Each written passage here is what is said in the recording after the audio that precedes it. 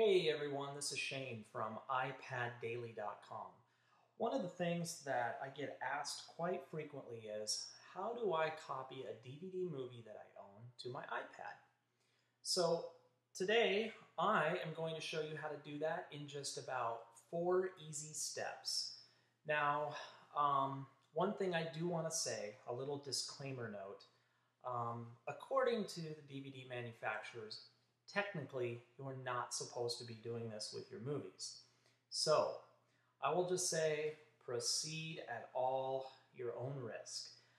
Um, now, with the DVD movie, basically there's going to be a few steps to do this. One, we're going to use some software to prepare the movie. Two, we're going to copy the movie into iTunes. And three, we're going to sync with the iPad and you will have your DVD movie on the iPad. The first thing you're going to need to do this um, is some software. And I use a specific one, which I will pull up here in the browser, called Handbrake. Now, I have been using Handbrake for several years um, since the Apple TV first came out. Uh, when the Apple TV came out, I I purchased movies from iTunes, but also I had a huge stack of DVDs, and I really wanted to get those onto the Apple TV. So I began using Handbrake, and it works very well. Uh, so this is the web page, and it's handbrake.fr is the web address. And when you get here, you're going to want to click on download. And you'll see that comes up here is its little download screen very easy to read. Um, you'll also note it does support Windows. It also supports Mac. Now, I am a Mac user, and so I will not be showing you the Windows version. However, I've been told it's not that much different. Um, one thing to note here, you get some choices, and one of the things with Handbrake, it requires a little piece of software which it will tell you to download when you run it uh, that only runs on this 32-bit version. So make sure that you pick the 32-bit Intel version of Handbrake. Now I've already downloaded it so I will spare you the download details. Once it downloads, you install it the way you install any other Mac application, drag and drop it into your applications folder, and you can go in there and here you see a little pineapple and a margarita glass. Now I put this here on my dock and I will open it up. I'm not quite sure why they chose a pineapple and margarita glass. My only guess is they assume you're having so much fun with Handbrake. Uh, so basically, let me uh, close all this that opened. This is what you'll get. You just get a simple kind of screen here. And you could probably get pretty overwhelmed with all of the windows, all of the menu items, all of the options. However, I'm going to show you how to do it really easy and you don't even have to worry about any of these options.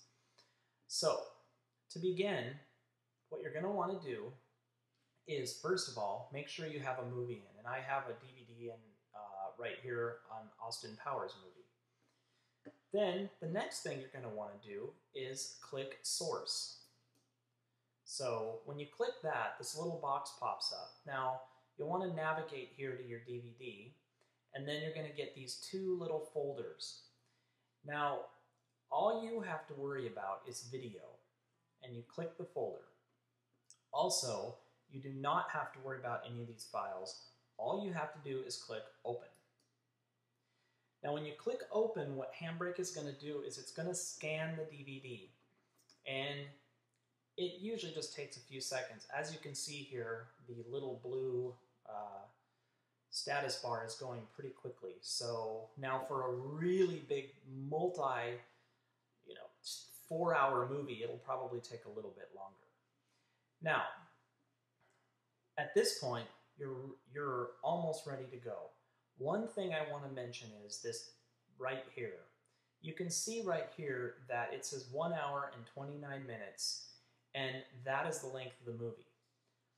On there's a very few movies where this will say something like two minutes, and that is not the right length of the movie, obviously. So you will click this down, and the general rule is to pick the longest one, which is usually the length of the movie. Most of the time, you do not have to worry about this. It just picks the one you need. So once you've got that scanned and it comes up here, the next thing you're going to want to do is come over here to presets. Now this is really nice because Handbrake has already picked the settings that you need to make this as simple as possible. Basically, you can see these little items over here and you can see how I'm expanding them. And the one you're going to want to go to is Apple and you're going to want to highlight universal. And that is all you need to pick and it does all the settings for you which are pretty much the standard settings for just about anything you'll want to do. You can definitely explore all of these items as you wish, but for the purposes of this and to make it fast and easy, just go ahead and pick universal. It does work. Now, at this point, you're ready to go. All you do is click start. I'm going to click start. Now, for a movie that is about an hour and 29 minutes, it is going to take a little over an hour depending on what computer you have, what hardware you have, and many different factors. But I will say that it is definitely not going to take five or 10 minutes. So a lot of the times what you can do is you can pop a DVD in, do the methods I've shown you, click start, and then just walk away and come back later. Um, Handbrake will let you know when it's done. It'll pop up a little window. Um, now, as you can see over here, it's already put a file.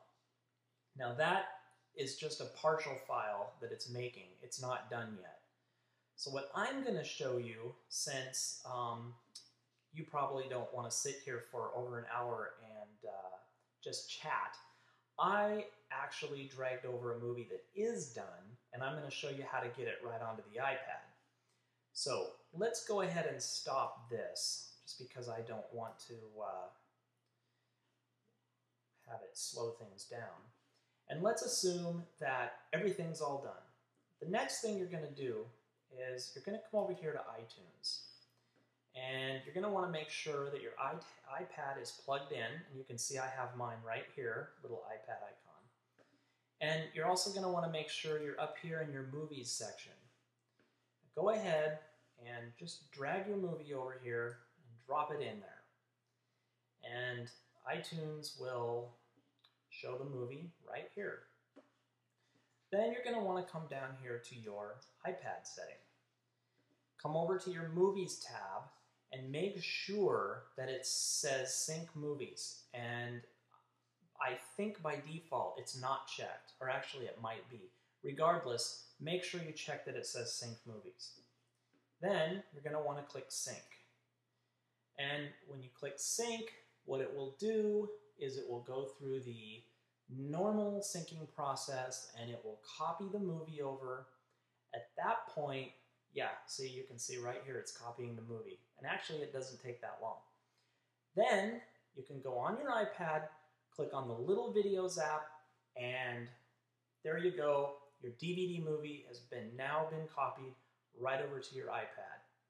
At this point, you can repeat this process as many times as you have DVD movies. I did a whole bunch over a weekend. It was raining and a perfect time to do it. So I'm Shane from iPaddaily.com and this is how to copy a DVD movie to your iPad.